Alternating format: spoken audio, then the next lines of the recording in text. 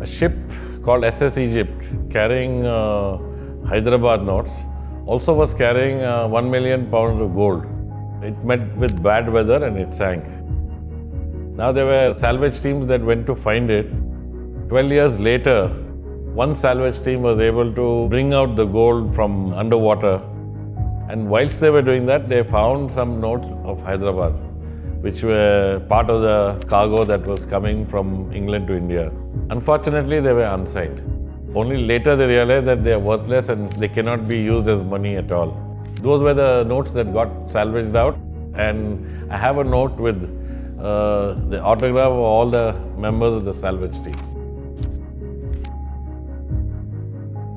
And the other instance is that uh, the watermark paper used to be made in England. Once the press in Nasik was made, the paper used to come from England and printed in India. The whole watermark sheets were sunk and those also were salvaged at one time and you have a lot of these watermark sheets with the water stains on it to say that uh, these were the sea sunk ones.